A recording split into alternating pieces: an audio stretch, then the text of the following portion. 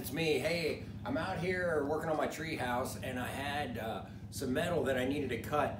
And we talked about this many times, the portable circular saw, but one thing we didn't really talk about much is the fact that we can change the blades in the portable circular saw to cut various materials. In our class, so far we mainly cut two by fours with it. So we've had a carbide tooth tip blade that was designed to cut lumber. This particular blade is designed to cut metal, and I was gonna give you a quick uh, demonstration of what that looks like when we're cutting the metal here. So um, I've got it somewhat cut, and I'm gonna, I'm making this basically J channel into a an L channel. So I've screwed it to this 2x10 to hold it in place, and I'm just ripping a piece of it off so I can make a track out of it. So let me show you how it works.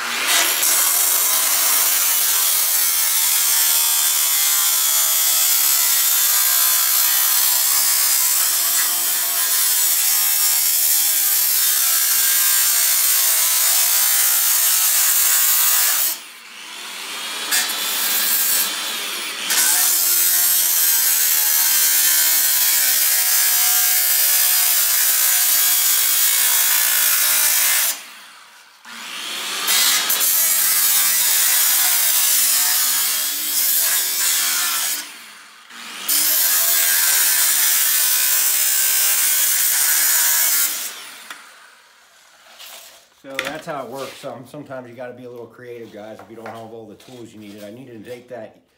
It was a J channel and make it an L channel, so I just cut the one strip off the edge rather than drive to the hardware store and go buy another piece of uh, aluminum.